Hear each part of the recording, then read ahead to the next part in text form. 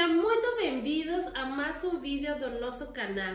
Neste vídeo vou compartilhar com vocês as dicas que eu apliquei com o Tomás, a Jamila, o Pancho e Lupita para os bigodes deles não ficarem manchados. Isso é algo muito comum de acontecer nos nossos cachorrinhos shih tzu, né, mamães e papais, ou qualquer cachorrinho de pelagem longa, os bigodes ficam manchados. Mas antes de começar com essas dicas que vai te ajudar demais, não esqueça de se inscrever no canal para não perder nenhuma dica que tem toda semana por aqui.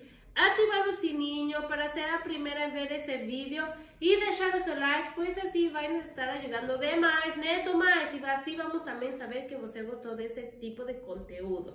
Falado isso, bora com as dicas! Essas dicas que eu vou falar aqui, mamães e papais, eu comecei a aplicar desde que o Tomás chegou na minha vida. Você pode pensar que algumas das dicas podem parecer bobas, mas fazem muita diferença nos bigodes do seu cachorrinho. Então já preste atenção a essas dicas e aplique aí que vai te ajudar demais, eu te garanto. A primeira dica, mamães e papais, é não oferecer água de torneira. A água de torneira, além de poder fazer mal para seu cachorrinho, provocar algum problema de saúde, ela com o tempo vai manchando os bigodes pelos ingredientes que contém na água. Então, ofereça água filtrada ou água mineral, que isso vai ajudar muito para os bigodes não ficarem manchados. A segunda dica, mamães e papais, se você oferecer ração, procure oferecer uma ração livre de corantes, porque com o tempo também a ração vai manchando os bigodes. E se você oferece alimentação natural e, por exemplo, tem um dia que o cardápio tem beterraba, procure limpar logo após com um paninho, um lencinho umedecido, eh, os bigodes do seu cachorro para eles não ficarem manchados. Eh, por exemplo, eu aqui com o Tomás a Jamila, o que faço é fazer uma pequena chuquinha nos bigodes quando eles vão comer, para eles não mastigarem os bigodes quando comem e também eles não se sujarem, né, mamães e papais? Então, isso tem me ajudado demais. A terceira dica, mamães e papais, é que faça limpeza frequente dessa região.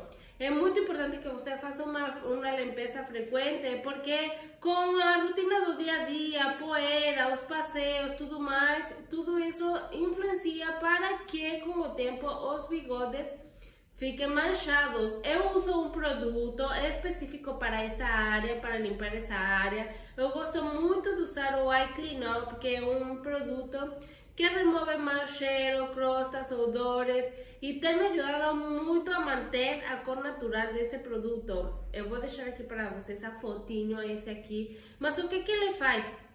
Ele, mamães e papais, não branqueia os bigodes.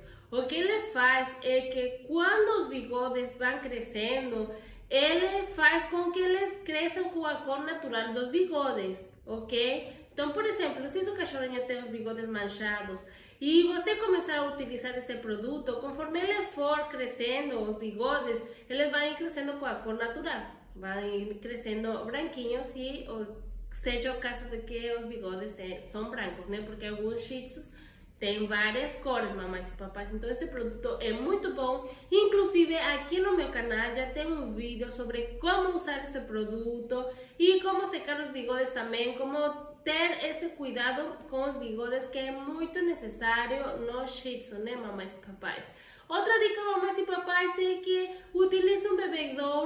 eh, para cães de pelagem longa, isso para que os bigodes não fiquem molhados, porque quando eles ficam molhados, além de poder causar alguma dermatite por umidade, por exemplo, eh, eles passando pela casa, ou às vezes saem no quintal, ou tudo mais, podem eh, com o tempo ficar manchados também, porque eles vão acumulando poeira, vão arrasando todos com os bigodes. Então, um bebedouro para cães de pelagem longa vai te ajudar para ele não molhar o bigode.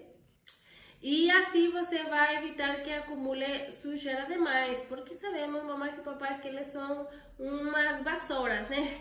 Eles saem para passear e voltam com um monte de galhos, com folhas e tudo, mas é a vida demais de shih. Então, essas dicas, mamães e papais, vai te ajudar demais para manter a cor natural dos bigodes do seu shih tzu. E como falei, se ele já tiver os bigodes manchados, o Tomás já vai embora, mamães e papais, como sempre, que já me acompanha aqui, sabe que ele não fica muito tempo aqui, ao final termina indo. Mas mamães e papais, aplique essas dicas aí que vão te ajudar demais, eu te garanto. Lembre-se que é muito importante você manter essa rotina de cuidados dos bigodes do seu shih tzu, não somente para ele ficar lindo, mas também pela saúde dele. Porque se os bigodes estão saudáveis, os olhos também. Não adianta ter bigodes longos para proteger os olhos se você não cuidar dessa parte, né, mamães e papais? Espero que vocês tenham gostado da dica. Se você tem uma outra dica aí que você aplica, me deixa aqui nos comentários também para que outras mães e pais vejam. E nos vemos no próximo vídeo. Um beijo.